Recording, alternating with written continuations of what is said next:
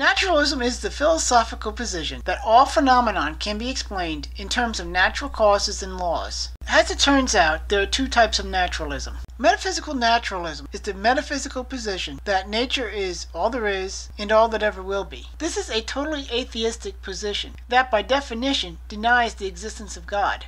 Methodological naturalism is the position that only hypotheses based on natural causes and events should be allowed in science. This is still basically an atheistic position because it denies the existence of God in practice, even if not in actuality.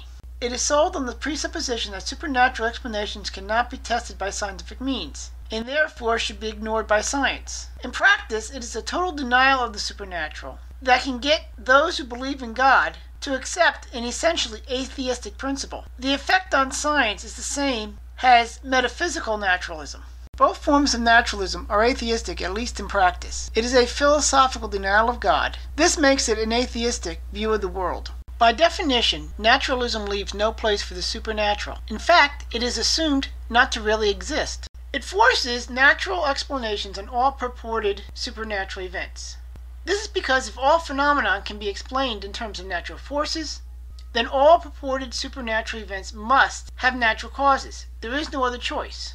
Therefore, a natural explanation has to be forced on all purported supernatural events to explain them away, even if it does not fully explain the event, and even if it requires denying that the event really happened. This is the ultimate naturalistic explanation, since any experience can be explained as a mental aberration of some type. And any evidence, such as photos or a recording, can be explained as misidentification, erroneous analysis, or a hoax.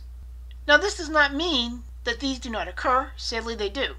But an adherent of naturalism has no other choice. Furthermore, these explanations are often unfalsifiable.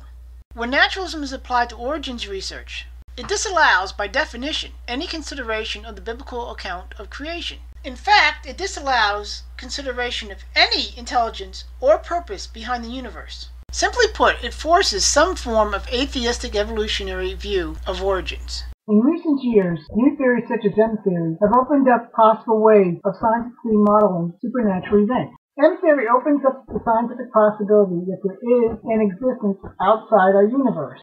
As a result, if one considers a supernatural event to be an event caused or affected by events from outside our universe, then such theories could model supernatural events.